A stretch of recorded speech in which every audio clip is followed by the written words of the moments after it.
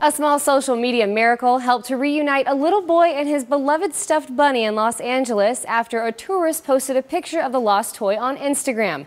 The precious bunny belongs to two and a half year old Max, and it was given to him by his grandmother before she passed away. Max's mother, Frances Page, told Today the stuffed animal, who doesn't have a name, normally never leaves the house, but Max must have snuck it into his stroller and dropped it. When the family noticed the bunny was missing, they went into search mode. Mom put up missing posters while her husband husband, Matt Ross, put a photo up of the toy on Twitter and Instagram. Jason Ho, a tourist visiting Los Angeles from Minneapolis, posted a photo of a brown stuffed bunny he found lying on the street on Instagram, just as Ross was uploading his own pictures of the toy. An unknown Good Samaritan miraculously spotted both photos on the site and contacted Ross to say that Ho just posted something that looks like what he's looking for. Ho spoke with Max's parents over the phone and gave them the last known location of the missing bunny. Paige and her son couldn't find it until a kind stranger helped them search nearby trash cans and finally the bunny was found.